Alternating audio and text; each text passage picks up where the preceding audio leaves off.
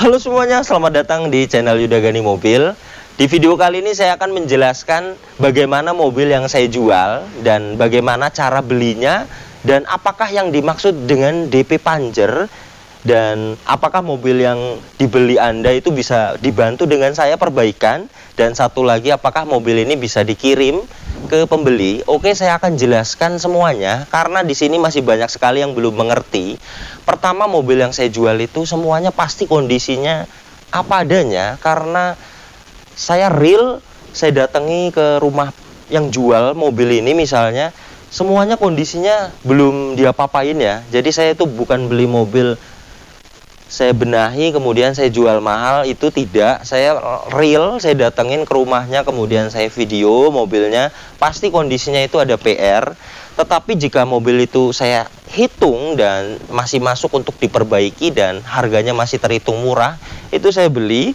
Tetapi jika mobilnya banyak PR sekali dan tidak masuk untuk diperbaiki dan terhitung mahal itu saya tinggal saya balik kanan saya tidak jadi mengambil video Kemudian untuk DP Panjer, misalnya Anda sudah menonton video saya sampai habis, kemudian Anda tertarik dengan harganya dan nelpon saya, deal dengan harga misalnya 60 juta, itu DP Panjer itu hanya untuk mengikat saja, misalnya Anda Panjer 3 juta, itu pelunasannya tiga hari, jadi setelah DP Panjer misalnya hari ini, kemudian tiga hari kemudian saya tunggu di rumah untuk pelunasan. Jadi DP Panjer itu bukan DP kemudian sisanya dikredit itu bukan karena saya jualannya semua mobil yang saya jual itu cash. Kemudian untuk bantu perbaikan, saya bisa bantu untuk perbaikan mobil yang Anda beli di saya.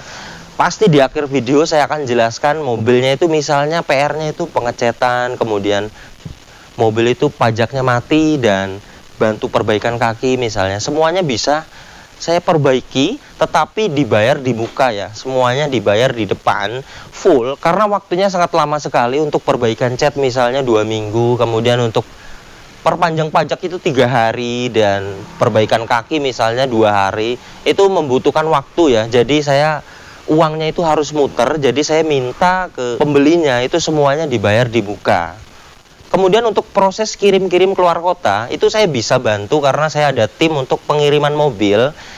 Tetapi untuk harganya itu tergantung jarak ya. Misalnya Jawa Tengah itu Jawa Tengah itu misalnya Solo itu 2.500 dan Jawa Timur misalnya Kediri itu 3 juta. Itu juga saya bisa bantu untuk pengiriman mobilnya.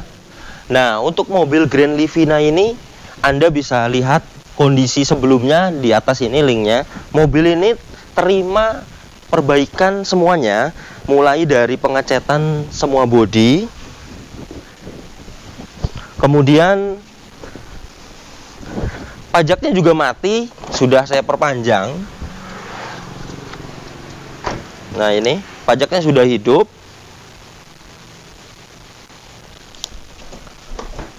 Kemudian pembeli minta pasang TV plafon seperti ini. Sudah saya pasangkan dan terima pemasangan kamera parkir seperti ini dan sensor mundur. Mobil ini semuanya dicat full body ya. Sudah beres. Ini sebentar lagi mau dikirim. Mobil ini terjual ke Bandar Lampung.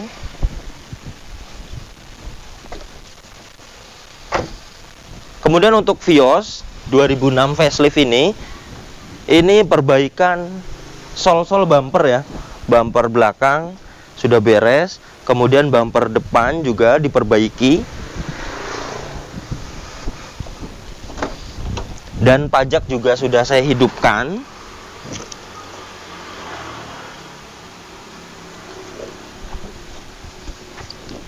Kemudian untuk kaki-kaki perbaikan juga dan untuk per diganti baru ini untuk kondisi bumpernya yang kemarin minta diperbaiki.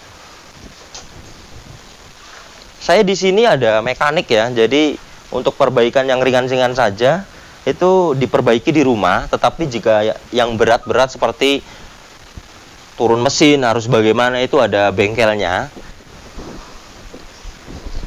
Untuk kondisi sebelumnya linknya ada di atas mobil ini. Mobil ini terjual ke Jambi nanti setelah beres baru kita kirim ke Jambi. Dan untuk Honda City ini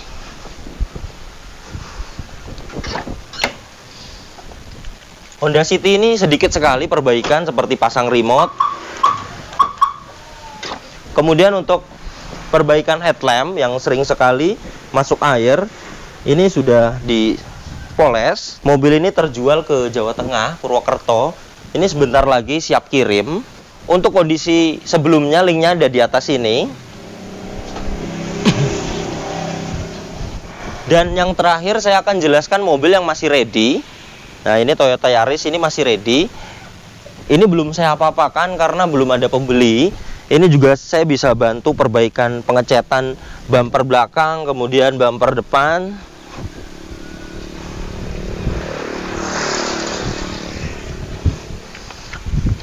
pajaknya juga mati 4 tahun saya bisa hidupkan juga dan untuk perbaikan kaki 700 ribu semuanya sudah beres saya jual 75 juta saja semuanya beres terima rapi dan pajaknya sudah hidup